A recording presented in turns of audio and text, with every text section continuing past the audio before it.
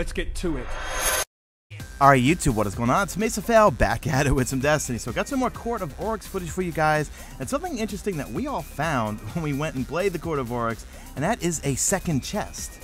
So now it's quite obvious, I'm recording this prior to the live stream reveal. I went to Bungie last week and captured all this footage, and uh, we found this chest uh, right below the main platform where all the boss encounters come from.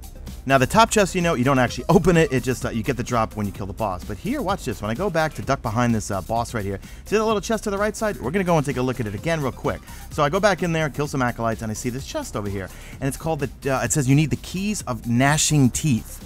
So let's switch to uh, Holtzman. He took a look. Uh, he shared his footage with me. So shout out to Holtzman. I'll leave his Twitter and also Planet Destiny in the uh, comment section. But yeah, he actually saw it too, and you can see there it's going to say requires the keys of gnashing teeth. So no idea. Uh, I tried to get some further speculation from Luke Smith uh, over at Bungie when I was there, and he said uh, he, he, wouldn't say anything. He just said there was a chest, and uh, I he said I know that you guys have no idea how to open that thing.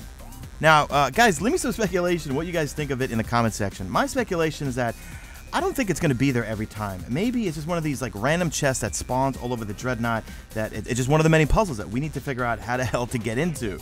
Again, I'm recording this prior to the live stream, so I'm going to be looking out for it to see if they actually look for it or address it. But my guess is that there's going to be chests like this all over the Dreadnaught that we're going to have to somehow figure out how to get into. So anyway, that's it, guys. Let me know what you think in the comment section. And also let me know, do you want me to upload the uh, all the gameplay from the full half hour I spent at the Court of Oryx? It, it, it doesn't get pretty when we get to the Tier 2 one. It gets really freaking hard. And that's it. So drop a like in this video, only if you see fit. Follow me on Zit Twitter at Mesa Check out my stream. Links will be in the description. That's it. I'm out of here like Vladimir.